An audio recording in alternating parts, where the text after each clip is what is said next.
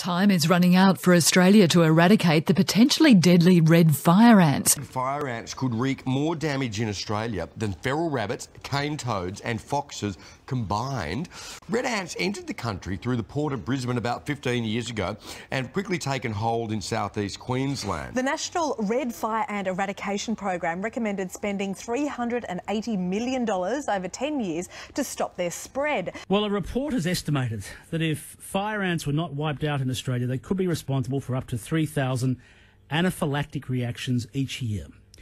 An independent review. According to a report prepared for the federal government and obtained by the ABC, we're searching for fire ant nests so that he and his team can poison and hopefully eradicate them from this area. This is a major problem because these things love electricity. Uh, they can get in here, they're going to short all of that out. If that fight is lost and the ants spread nationally, they could damage crops, machinery, and cut profit margins for farmers from anywhere between 10 and 40%.